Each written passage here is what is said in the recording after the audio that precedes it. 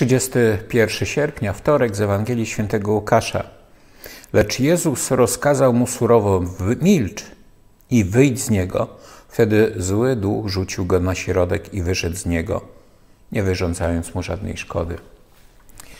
Moc Chrystusa, moc Jego słowa nie, potrzebowała, nie potrzebowała tam żadnych spek spektakularnych wydarzeń, rzeczy, jakichś tam, nie wiem, e, magicznych ruchów Jezusa. Nie. Słowo, słowo Jezusa.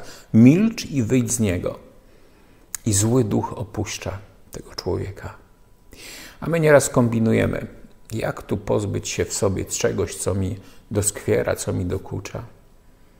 A wystarczy przyjść do Jezusa, powiedzieć: Panie, pomóż mi. Panie, oddaję Ci to, co jest trudne. Pomóż mi, bo dokucza mi to, bo nie mogę sobie poradzić z tym. Słowo może, słowo Boga, słowo Jezusa może uczynić wszystko. Tylko trzeba przyjść do Jezusa i zaufać, oczywiście. Zaufać, do tego jest też głęboka wiara.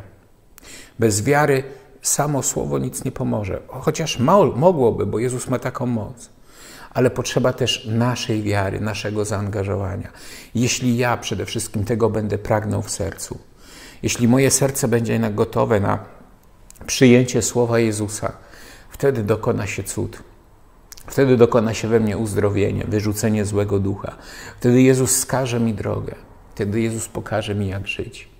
Tylko pierwsza inicjatywa, ten pierwszy krok, ruch należy do mnie. Przychodzę do Jezusa i On czyni wszystko. On zmienia moje życie. Jednym słowem. A my nieraz kombinujemy, szukamy różnych sposobów, a wystarczy jedno słowo słowo Boga. Na otwarcie się na Boga, na Boże działanie z serca Wam błogosławię w imię Ojca i Syna i Ducha Świętego. Szczęść Boże.